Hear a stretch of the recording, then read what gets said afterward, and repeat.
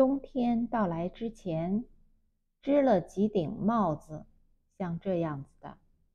现在还剩下最后一顶了，送给了朋友、闺蜜、闺女。结果他们说很好看呀，为什么你不拍视频呢？那么今天呢，我来钩一个帽子。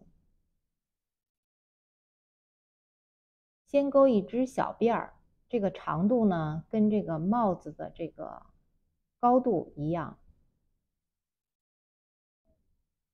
然后呢，钩这个中长针，绕一下。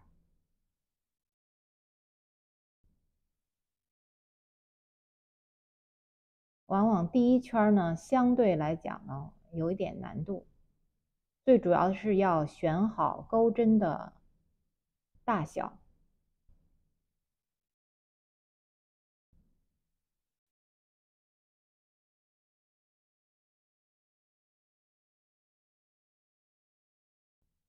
好，钩到头以后呢，多钩两针，然后倒过来，反向，再接着钩中长针。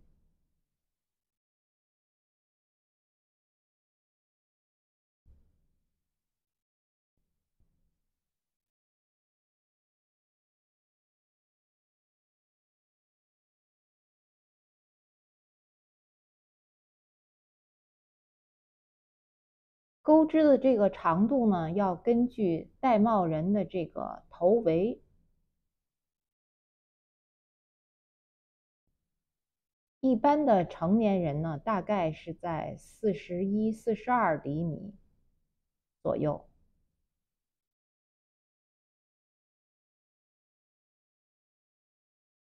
我之前。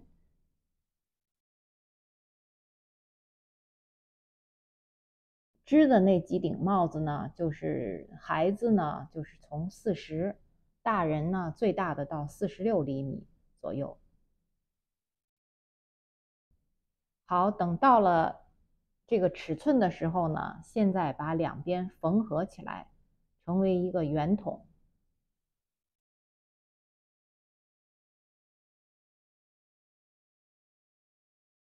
我中间还忘了。拍这个有一边要收口，就像缝衣服一样，把它封起来。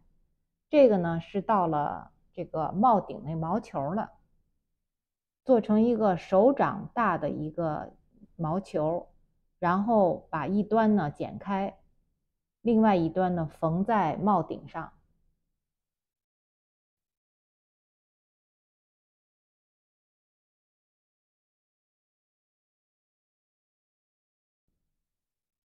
这个呢，就是最后的成品。